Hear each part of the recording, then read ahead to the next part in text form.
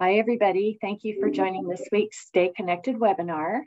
We are really excited today to um, welcome our guests from the Nebraska Arts Council who are going, going, to talk about some of the opportunities that they have available, um, including some funding opportunities uh, where you can bring um, uh, arts experiences to your students. So um, on behalf of our Get Connected Conference Planning Committee, it's my pleasure to uh, welcome all of you and welcome Joshua and Anne. And I'm going to let you just go ahead and take it away.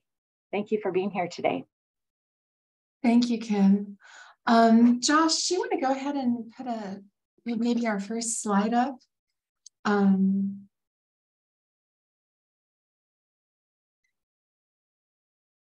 wait just a moment here.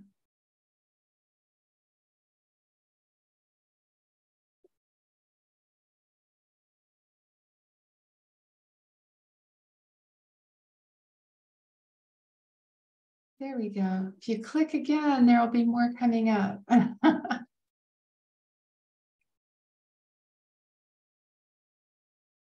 so, um, good morning, everybody. Um, my name is Anne Alston, and I'm here today with Joshua Brown. We're both with the Nebraska Arts Council. Um, for anyone who's not familiar with us, uh, you can go to the next slide, that's fine. Um, for anybody who's not familiar with us, we are a state agency and our offices are in Omaha rather than Lincoln. We're a small state agency. And we're downtown. If anyone's ever visiting Omaha, you're welcome to come by because our offices also have a small art gallery that features artwork by Nebraska artists. We're downtown near the old market, if you know Omaha, and we're open during regular business hours every day. And I'm so glad to have this opportunity. I really appreciate you inviting us, Ken, because um, the Arts Council has a number of programs and grants that may be of great interest to after school providers. Um, I'm aware that after school providers sometimes are seeking quality programming especially creative arts related programming uh, for students. And, and that's where we can possibly help you in your schools. And with that, I'm going to turn it over to Joshua. We'll, we'll save time at the end for questions and answers, but I'm going to turn this over to Joshua, who manages a couple of the grant programs that we're uh, about to go into. And you can take it from here, Josh.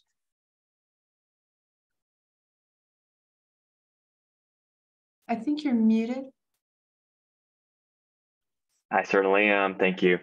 Um, I was just going to say I'm going to talk to you all about a few of our grants, and um, we'll we'll try to kind of peek into our grant system to just kind of get an idea of how easy it is. Um, with all these grants uh, that that are school oriented, we try to make them as easy as possible. That's the number one thing is to make them accessible to you so you don't have to spend half of your life worrying about requirements and reporting. There are aspects of those things, but um, we, we really try to make it easy for everyone. Uh, the first one we're going to look at is artists in schools and communities. This grant is about bringing artists into your program. So, for instance, um, your after school program might have a, a, few hours, two and a half hours, three hour block. Uh, you could have an artist come in, uh, set up and do an hour with students. And, and you can see uh, one of our friends, Charles Ahovisi here doing a residency with kids where he's brought all of his drums in. Uh, there's a lot of them. Oh, and I'm thankful not to be in that room right now, but it looks like everybody's having a lot of fun too. Uh, th this particular um, grant program comes in a few different varieties. Uh, one, if you're just kind of trying to dip your your toe into the water, is an artist visit grant, and that'll provide a few hundred dollars. The grant provides a few hundred dollars uh, to bring in an artist like Charles to do a few sessions. Um, how that would work with your after school program, it, it might be that he comes in uh, and does the whole few hours uh, with different groups of kids.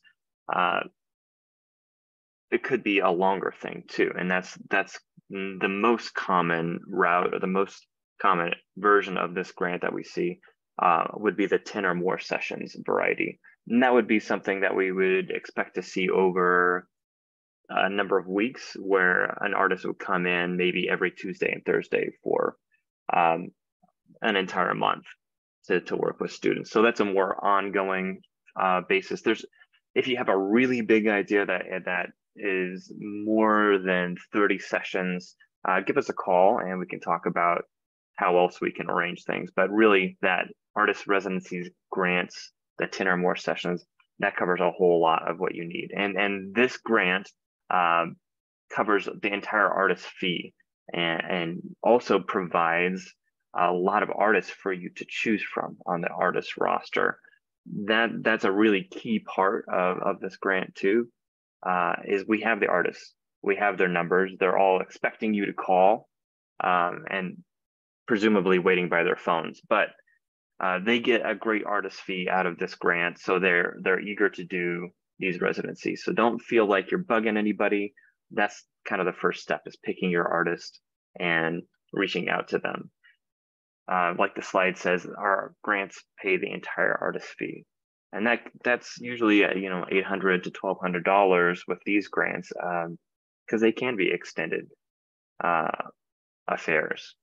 One really important aspect to keep in mind with this particular grant is it does have a deadline but it's floating. Uh, that means there's not a certain time of year that you can apply for this grant. You could apply anytime as long as it's six weeks ahead of our, our deadline. That's um, because it does take time for us to get things organized and we want to make sure that the, art, the artist has plenty of time um, to communicate with you and, and so expectations are clear and for us at the Arts Council so that we can make sure um, payments are moving smoothly and on time. So that six week window is really important. Uh, this next this next slide is kind of a case study of one particular uh, of these programs, these artists in schools and communities uh, programs. And uh, this one is is run by ZAP, which is the Zoo After School Program. Uh, it's run by Henry Doorly, and they have a few different program locations where they take some zoo staff and do STEM-based programming in classes. It's a really it's a really fun after school program. Um, in this case, it's kind of a STEAM thing because STEAM being uh, incorporating arts in STEM uh, because they they've in, engaged uh, dual residency. They've they've called Kevin and Renee. Uh, Kevin Barrett does stage combat, but kind of like talking through uh, decision making and critical thinking using stage combat. I, I haven't seen it, but it seems like it's a lot of fun and he's very, very popular. So I, I know that people are enjoying what he does a lot. It's a good way to, to snag those boys their attention too. Uh, Renee does her a totally different thing. She is also talking about character building, but she does it through juggling, which is so much fun. And she's the only juggler on our roster. It's kind of a um, not necessarily the typical performance uh, performer that we have on our roster, but uh, she is a lot of fun and kids really enjoy her a lot. Uh, those are just a couple of examples of artists. Uh, we also have painters and dancers and all sorts of theater artists. And uh, there, there's a, over 80, is that right, Andy? Over 80 artists on the roster. So uh, you, it's very likely that you'll find somebody that's a perfect fit for your after school program. Um, this particular residency is meeting twice a week for a month. They'll do eight sessions with these artists. Um, and, and both these artists are coming in each of those times. Uh, so, so maybe half of the group is going with juggling and half is going with stage combat. That's a really nice way of arranging things if you've got kids with diverse interests doing these kind of simultaneously. You can also submit uh, more than one residency, more than one artist on each application. So adding more artists doesn't necessarily mean adding more complication from the grants perspective. Uh, quickly here, I want to take a, just a quick peek at our application dashboard so you can kind of get an idea of what it looks like when you start one of these artists in schools and communities grants. Uh, let's see, can you all see a, a uh, grant interface screen, kind of a logon screen here? We, we see the log on page, Josh. Perfect. Uh, the first thing that you'll have to do is to create a profile on, on your page, but that's not so hard. The only thing that can slow you down is some of the back office stuff, but we're here to help with that too in terms of getting your new application going. So I'm switching over to applicant mode so that you can see what you will see when you log in for the first time. Um, the applicant is me, Joshua Brown. And if I were to make a new request, I would hit apply down here, the blue link. It takes you to a smorgasbord that shows you all the grants that we have available. And, and we'll talk about some more of these here in a moment. But the most important one for this moment's conversation is at the top of the list, the Artists in Schools and Communities Grant. Um, it will give you a brief rundown of some of the guidelines, but I recommend that everyone take a look at the guidelines themselves to begin with. Uh, those are provided to you in a link right there at the AISC guidelines. And that really will tell you everything that you need to know about the grant. If it, my computer could load it up fast enough, I could show it to you, but um, we, we already talked about many of these. Uh, so the important thing is just to kind of take a look at what that application looks like. So I've hit apply. Uh, it takes us to that application screen and I'm zooming my screen out so you can see it's not so long. If it was a stack of papers, it'd probably be uh, a few, three or four pages long. Um, but we're not asking for a novel here. We're not asking for very much more than a few sentences for each of these narrative sections. So artist program type, it's where you choose, well, is it gonna be that, that small visit size, the three sessions, three hours, generally one day, or uh, a larger residency, more typical of, of these kind of programs, uh, 10 or more sessions. Uh, sometimes people do a kind of blended version there, and that's fine too. Uh, artist name, start date, the proposal description. Again, I really, it says 200 or 2,500 characters. I don't want to read that much. just, just a paragraph is fine. Um, it, there's, it's not incumbent upon the applicant to fill up 100% of those characters. So that's just the limit.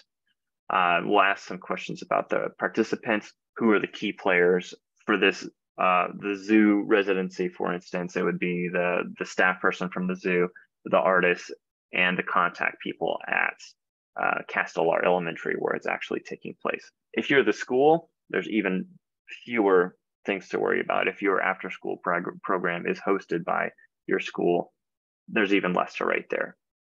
Uh, next is a little section on budget. And this is just going to ask uh, how much the artist fee is going to end up being and how much you're requesting. Almost always these numbers will be all the same.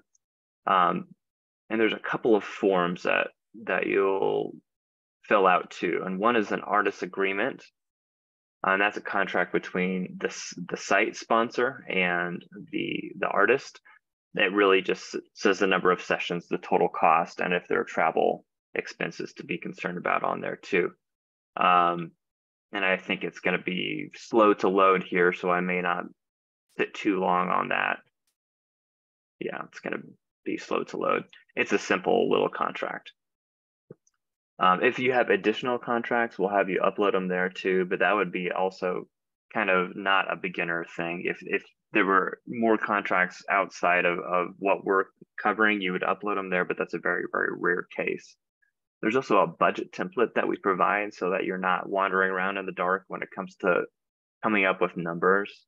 And I'll ask for everyone's patience so that we can look at this together because I think it is nice to just have a look at this tool because it helps quite a lot. Um, is everyone able to see this Excel screen uh, with yeah. the Excel online? Great. You might want to make it a little larger, but I it's fine. Yeah. Mm. Oh. All right. It's a little bit bigger. And this is just one page Excel. Um, everything is kind of set up with formulas so that all you have to do um, is, is add your numbers in there and it'll auto populate. So if you're doing more than one residency on an application, you can do that here. A little bit of information about travel expenses. And then it's all totaled up for you at the bottom. You can then take those numbers and just plug them right back into the application um, right here. So all that stuff is automatically calculated for you. You just have to know the number of sessions uh, that your artist will be participating. There's a few other questions that aren't going to be pertinent to this specifically, but I do want to talk about the accessibility checklist here. There's a lot of check boxes here. Um, the most important thing to remember is that uh, we're looking for an explanation for anything that you can't accommodate or, or uh, won't be able to accommodate here. If you don't check one of these boxes, please provide me with the notes uh, about why or how you would accommodate it if something were to come up. So a number one important thing to know about this whole section is um, if you have any exceptions, I just want to know about them down here. That that's one of my most common calls on these grants back to the applicant is if they haven't checked anything on this list and they haven't explained down at the bottom why they haven't checked it. Uh, so that is something to be mindful of and to, to look at carefully as you're going through. The rest of this stuff is not that important for our discussion um, and really has to do with other kinds of organizations. Uh, then you'll have your uh, your signatures down at the bottom and you hit submit. Uh, so this is something that might take an hour to go through, but it won't take a day. Um, so that helps a lot. So bouncing back to our slides, uh, the next sort of, uh, oh, I suppose, uh, did you want to talk about this or can I talk about the roster? Um, I'll, I'll talk very briefly. I was just answering somebody in chat actually who had a question about who contacts the artists. I just entered a response, but we we do have a roster of approximately 85 teaching artists um, and here are just a few examples uh, of artists uh, from different parts of the state. And they range from theater artists like Linda Bruning on the left to Nancy Fairbanks, who is a clay artist, which is why her hands look so weird in that picture.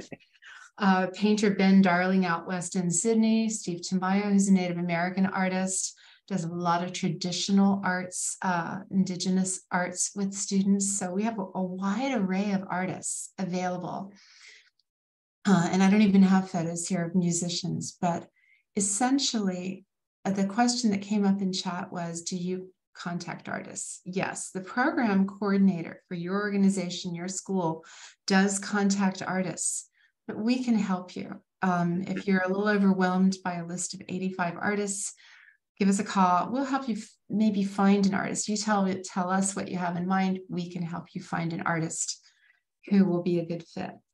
So that's one of the most fun parts of the whole process for me is is helping picking out uh, the perfect artist uh, for for the program. It's it's really fun to see those uh, final reports come back glowing and know that you've had a part to do with that.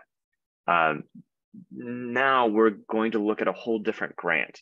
Uh, this one is, is another one that I really think is, is well suited to an after school sort of scenario if you've got the time. Um, and for your summer programs too, I would say definitely look at this without a doubt. If you've got a whole day, this is a wonderful thing to do with students. Uh, school bus for the arts grants, uh, they pay for bus and admission and admission fees for field trips to professional art events. Um, that's students of any age, uh, no matching on either of these grants, the AISC or the school bus grants. So, so your school doesn't have to put forth funds to make it happen. Uh, schools and nonprofits are eligible for between $400 and $1,000 per year, uh, depending on the number of students enrolled. So your your smaller programs are going to have maybe a $400 budget, but you you can usually get a school bus and admission for most things for about that cost for at least one trip. Uh, this is something that you'd want to apply for four weeks ahead of time, which is our shortest window. Um, because you know sometimes you get the opportunity and you want to go, but we still need some time to get that processed. It can't be a next week kind of thing. And and I think in general, most programs are kind of planning uh, by semester or by year, so that doesn't tend to be an issue that comes up.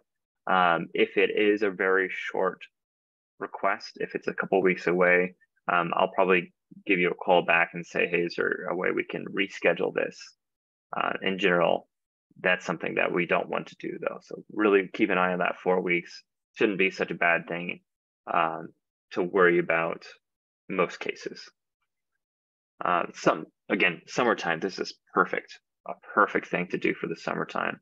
Uh, we have a lot of folks who use this grant to go to the Rose Theater uh, to to do outreach activities. At the Rose is fantastic about organizing things with you too. Um, Joslyn Art Museum is closed, but of course you could uh, use a bus to go to that museum or or other museums in the state as well. Um, performances of, of, all kinds are, are, a tremendous thing to use this for because again, that pays for the admission to that performance, which can be very prohibitive depending on uh, what that that might be and if you've got a budget for it or not. Something I definitely think everyone should check out at least and see if they can make it work. Uh, the last grant I want to look at with, with you is a mini grant. Now, this is outside of Anne and, and ours fold of grants. Uh, so I know a little bit less about it, but this is a, a, nice thing to keep in mind if you've got an idea for a project that doesn't quite fit into the other categories that we've talked about today.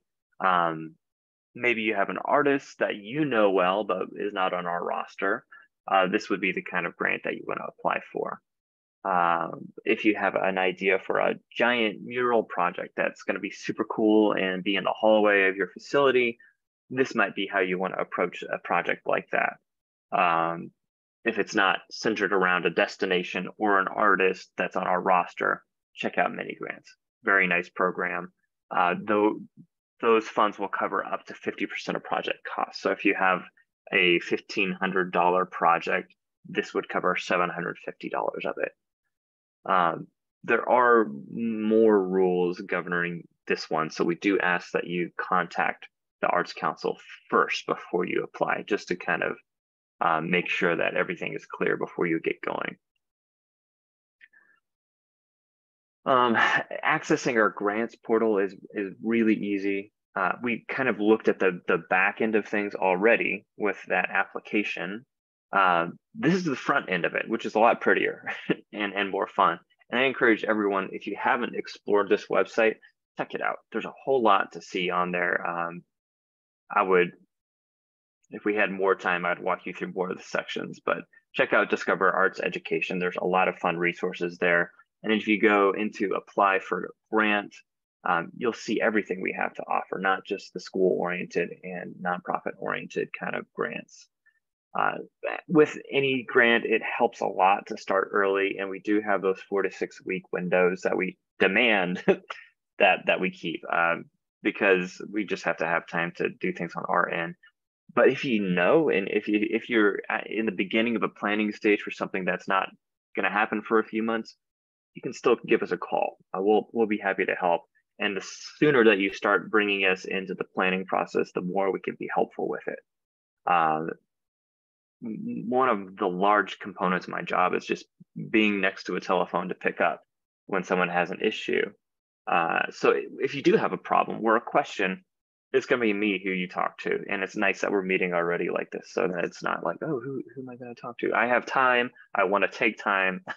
I want to make these easy for you so you can do them again. We want to have um, people kind of get into the habit of, of giving us a call when they have an idea like this because we love to help uh, we do have funds available and, and we've got the time uh, to, to help out and answer your questions. So don't feel like you're going to be burdening us if you do reach out. And was there anything else that you wanted to cover in our spreadsheet before we transition to questions? Um, the only thing that occurred to me that perhaps we would want to mention is that the first step is actually to either make sure that your organization or your school already has an account in our online grant system, or go ahead and set one up. Even if you don't plan to apply immediately for a grant, uh, it can take a few days to get your account set up. And there are instructions on our website for creating an account. It goes back to that logon page that Josh showed you at the beginning it's easy to find on our website under the grant category. But, um, or if you have questions about your organization's eligibility, I will say that school, as a rule, Nebraska schools and Nebraska nonprofit organizations are all eligible to apply. So, um, I think we covered the one question that I saw earlier in chat. Maybe we should go on to take a few minutes for Q&A. We still have five minutes.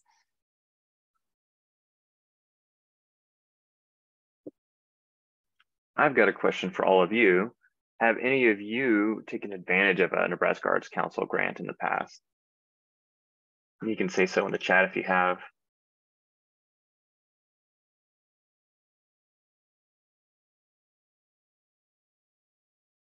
It doesn't look like anyone has in the past, which means that you should have lots of questions. But if you don't, that's all right. You can also email me or, like I said, pick up the phone and I'll be there to answer. Um, I'm just looking at the, the, the chat here.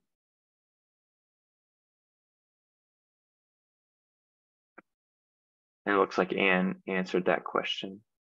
Oh, you worked with Mona in the past. Michelle uh, in the in the chat says, um, Mona is a great partner uh, for for these kind of projects, and we work with them a lot on different grant projects.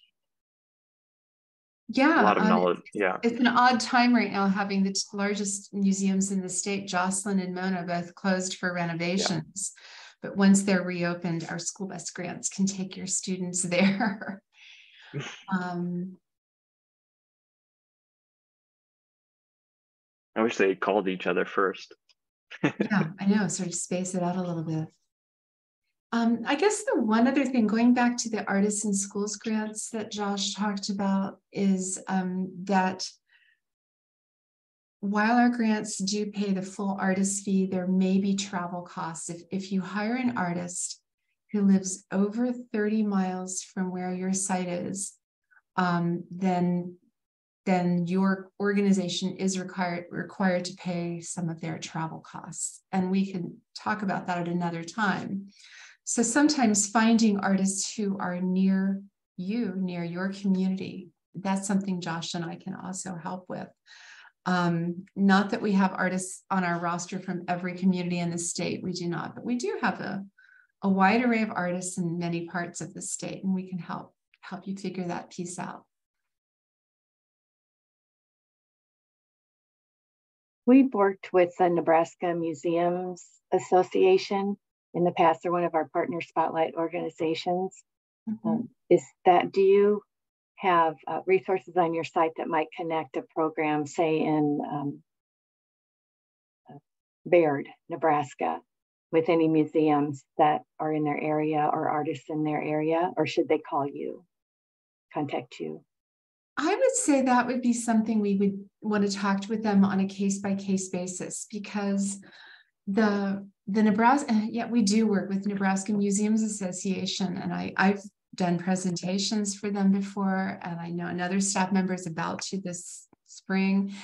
A lot of the museums they work with are historical museums. They're not really arts museums. So for instance, if you want a field trip with one of our grants, it would need to be really focused on arts. So to an arts center or an arts museum, but we might be able to help identify resources close to where where you you reside, where where your school is.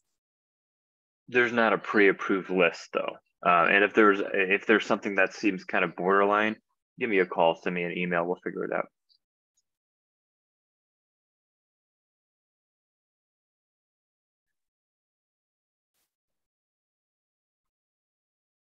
Does anyone else have a question while you have these experts on the call? But we certainly appreciate these opportunities, just having limited budgets, but students who are very interested in the arts and expanding their opportunities in that area. So thank you for your work. Are you the only two in your office? If we called, we'll get one of you. Not exactly. we do have a small agency. We have a staff of 10. But when it comes to things that are tied to schools and arts education, you'll usually get sent our way, Josh's or mine. Is it okay if we note your contact information along with the recording to this webinar? Oh, so please do. Okay. And the, I think the first slide that was open when I was talking also included our email addresses and, and the office phone numbers and contact info. Okay, yeah, and if you want to send the PowerPoint, we can post that as well, if that, if you think that would be helpful. Um, we could, or yeah. Yeah, maybe Josh, maybe you'll make a PDF of that and send it, send it along to Kim. Yeah. The slides were beautiful. Of course, you're the Arts Council, so. we like Yeah. things to be pretty. Well, we really appreciate your time and, and your work. Um, it's, it's just so valuable and appreciate it. So thanks for talking to us today. And we look forward to finding more ways to, to work with you. Maybe a table at the upcoming Get Connected After School Conference. We can Oh. meet That sounds great. after school educators there. When is that coming up, Kim? Um, okay, Jan's on. Jan's always got the date right there on her, the tip of her tongue. It's, it's September 22nd. And uh, this year it will be at the CHI Center, Conference Center up in Omaha. Oh, um, and our offices are about three blocks from the CHI Health Center, so. Fantastic. We would love to have you. We'll see what we can do. Well, again, thanks for your work and thanks to everyone who joined today. We appreciate your time. Um, our next webinar is going to be, um, let's see, February 16th, and we're going to learn about the Beyond School Bells Innovation Invitational. Jeff Cole will be sharing about that. So we hope you're able to join um, and learn more about that opportunity too. Well, thanks. Thanks, Anne. Thanks, Joshua. Thanks, nice Kim. to have you today. Thank you. It. All right, so long.